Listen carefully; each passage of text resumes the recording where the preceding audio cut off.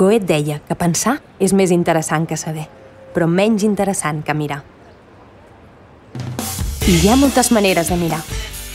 Pots mirar per meravellar-te, aspirar, apropar, sorprendre, contemplar.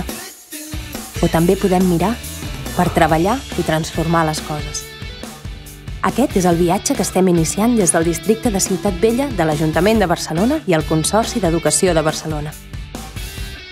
Vols conèixer quins reptes educatius ens plantegem per millorar l'educació del districte els propers 5 anys? A la tardor de 2012 vam iniciar un viatge apassionant, definir el Pla d'Educació de Ciutat Vella. Quan comences una aventura així, hi ha dues coses en què has de pensar. L'equipatge i la ruta que faràs.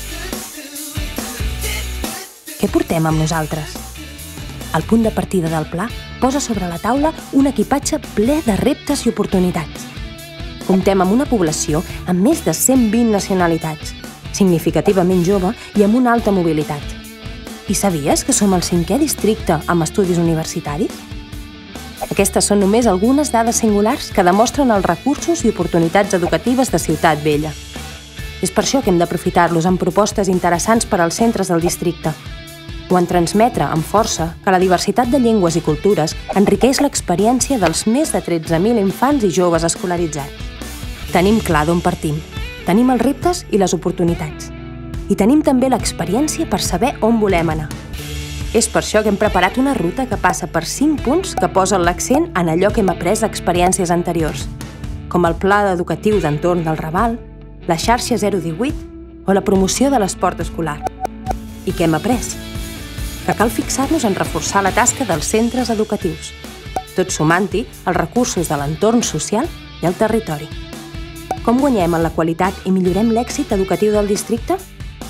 Amb més atenció a la diversitat, amb una escolarització equilibrada o singularitzant els centres gràcies als partenariats educatius amb institucions del territori. Què passa quan s'acaba l'escolarització obligatòria? Amb el pla volem fer créixer el nivell de població amb estudis postobligatoris, a través de programes formatius, d'orientació i de col·laboració amb serveis d'ocupació. I fora les escoles, què volem que porti al barri el sistema escolar? Tenim la sort de comptar amb una àmplia oferta d'educació no formal. Ara bé, és prioritari optimitzar-la és a dir, alinear allò que ens ofereix l'àmbit socioeducatiu amb les necessitats dels centres, el reforç escolar o l'ús del català com a eina de cohesió. Quina implicació demanem a les famílies? Sabem que és clau acompanyar les famílies per contribuir a l'èxit educatiu de molts infants i joves. És per això que, entre altres accions, cal potenciar les AMPA i explicar a les famílies el valor de la seva implicació. I, finalment, cobrim els mínims més bàsics molt important seran les comissions socials dels centres educatius, un model de coordinació d'escoles i serveis socials en què treballem que serà referent per a la resta de la ciutat. Així doncs, què aportem amb aquest pla?